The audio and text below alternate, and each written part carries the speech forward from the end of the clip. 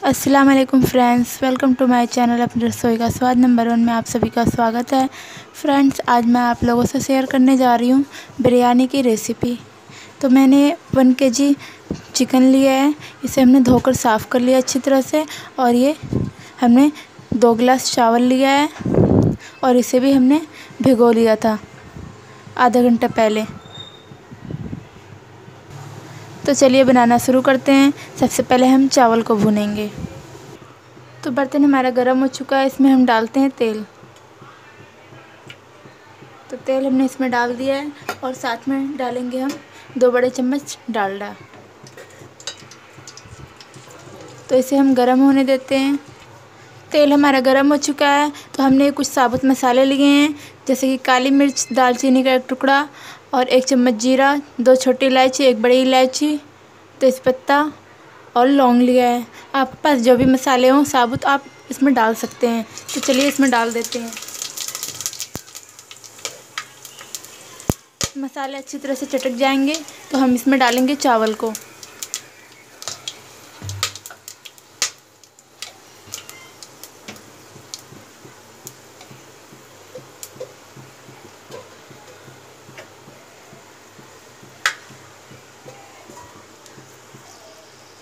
तो देखिए, मसाले हमारे चटक चुके हैं। अब हम इसमें डालेंगे चावल।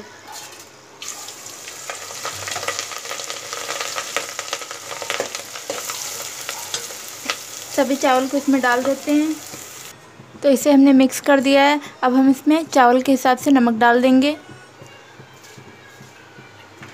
तो इसमें हमने नमक भी डाल दिया। इसे थोड़ा सा भून लेते हैं। तो देखिए, हमने चावल को भून लिया है। अब हम इसमें पानी डाल देंगे।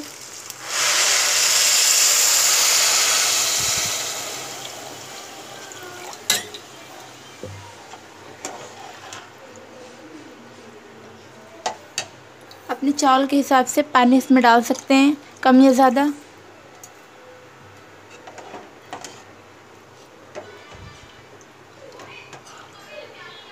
तो इसमें पानी हमने डाल दिया है। इसे ढक कर रख देते हैं पकने के लिए। तो चावल को हमने साइड में रख दिया है। इधर हमने दूसरा बर्तन रखा, उसमें डालते हैं ऑयल।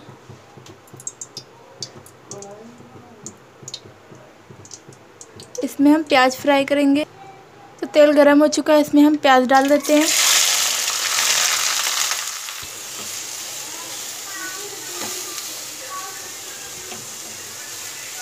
इसको एकदम ब्राउन करेंगे प्याज को। तो देखिए, प्याज ब्राउन हो चुकी है। इसे हम निकाल लेते हैं प्लेट में।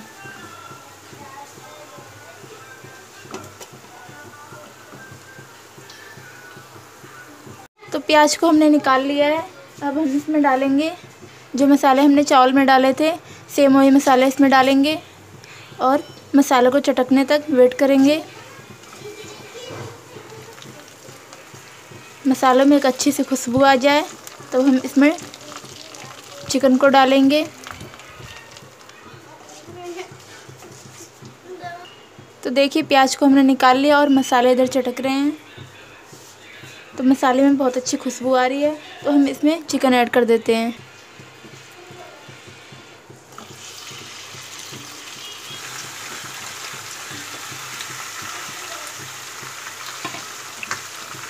और इसे चला लेते हैं अच्छी तरह से। तो हमने इसे मिक्स कर दिया है। अब इसे भूनेंगे और साथ में ऐड कर देंगे तीन बड़े साइज़ के कटे हुए टमाटर। और इसे भी अच्छी तरह से मिक्स कर लेते हैं। तो इसे हम भून लेते हैं अच्छी तरह से। और इसमें साथ में नमक भी ऐड कर देते हैं। तो नमक अपने चिकन के अकॉर्डिंग रखें।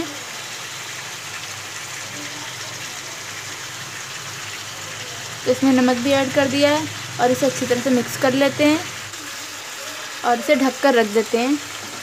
अभी हमारा चिकन थोड़ी देर में पानी छोड़ देगा। तो इधर हमारा चावल पक चुका है।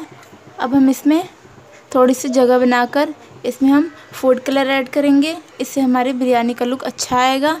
ये पूरी तरह से ऑप्शनल है, आप चाहें तो स्किप भी कर सकते हैं। तो इसी तरह से हम दो से तीन जगह ऐसे ही करके हम कलर को डाल देंगे।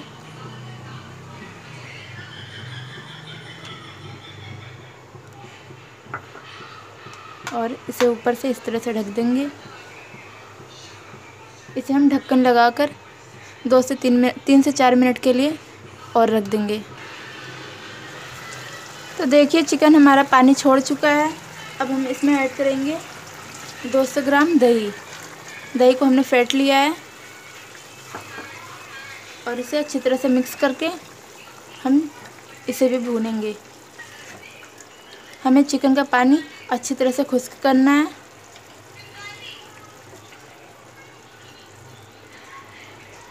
तो इसका ढक्कन लगाकर हम हाई फ्लेम पर पकाते हैं। चिकन हमारा पक रहा है।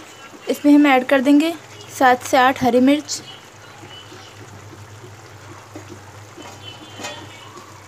और इसे वापस हम ढक कर रख देते हैं। ज़्यादा चलाना नहीं है, नहीं तो ये टूट जाएगा चिकन। तो देखिए हमारे चिकन का पानी लगभग सूख चुका है। अब हम इसमें ऐड करेंगे। दो बड़े चम्मच लहसुन अदरक का पेस्ट। और इसे भी मिक्स कर लेंगे। और इसमें डालेंगे बिरयानी मसाला। ये एक पैकेट हमने लिया है। और इसमें इसे मिक्स कर लेते हैं। हमने मिक्स कर लिया है। अब हम इसमें थोड़ा सा पानी ऐड करेंगे मसाला भुनने के लिए। और इसे मिक्स कर लेते हैं।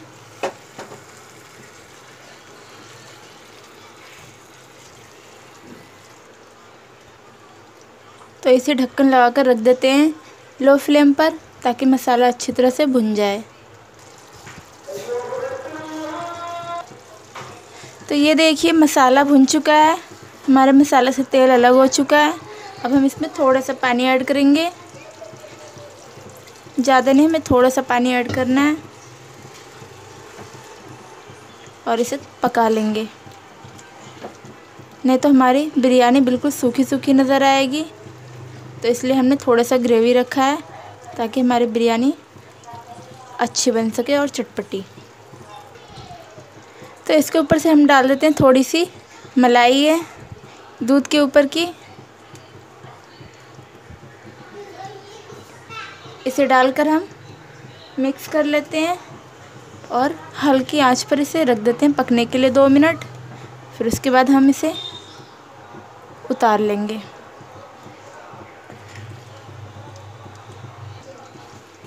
तो देखिए, ये पक रहा है। इसमें हम डाल देंगे दो से तीन बूथ केवड़ा जल।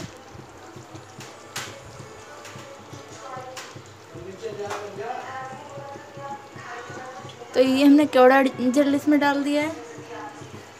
दो से तीन बूंद और इसे ढक देते हैं। इससे इसकी खुशबू बहुत अच्छी आएगी बिरयानी की। तो देखिए, मसाला अच्छी तरह से भुन चुका है। जो हमने पानी डाला था वो भी पक चुका है। अब हम इसमें ऐड करेंगे चावल पके हुए, जो हमने पहले पकाकर साइड में रख दिया था। तो गैस की फ्लेम को हमने बंद कर दिया है। अब हम इसमें ऐड करेंगे चावल।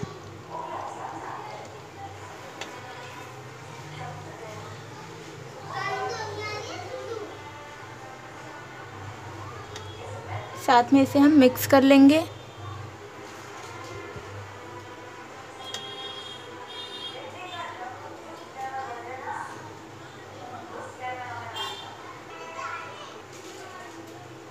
तो इसे मिक्स कर लेते हैं हम साथ में।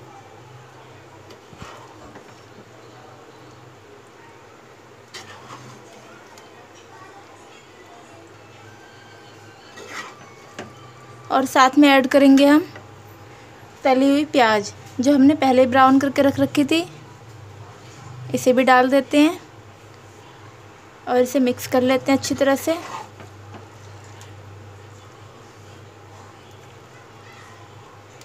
हम इसमें थोड़ा थोड़ा चावल को ऐड करते हुए मिक्स करेंगे। थोड़ी थोड़ी प्याज भी ऐड करेंगे। इससे हमारे बिरयानी का स्वाद बहुत बढ़ेगा। और इस पर हम डालेंगे हरा धनिया। हरे धनिया का भी फ्लेवर बहुत अच्छा आता है। तो हरा धनिया भी हमने छिड़क दिया इस पर। अब हम रखेंगे थोड़े खीरे। इसको सैलड के साथ खाएँ, बहुत ही टेस्टी लगेगी आपको बिरयानी।